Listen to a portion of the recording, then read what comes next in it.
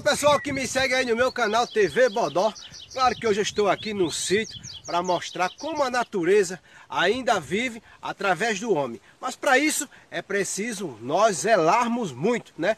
Eu estou aqui diante aqui de uma fonte d'água que é muito preservada aqui nesse sítio e eu vou mostrar o porquê ainda essa fonte até hoje ela está viva.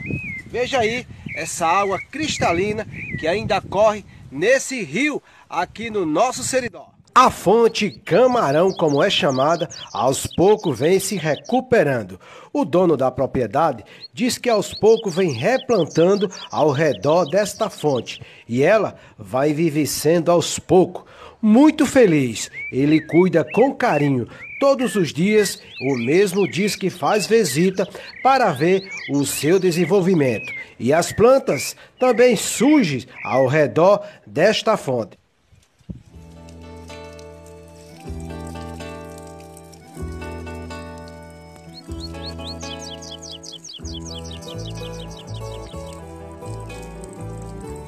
Pois é, minha galerinha, é preciso sim a gente mudar a natureza. Plantar plantas no aceiro dos rios e cuidar, né? Vamos cuidar, zelar das nossas riquezas aqui do Seridó, que é as nossas fontes d'água. E para isso, eu quero o seu apoio nesse vídeo. Me curta, me siga e compartilhe para que muitos vejam esse vídeo e zele por a natureza. Valeu, galera!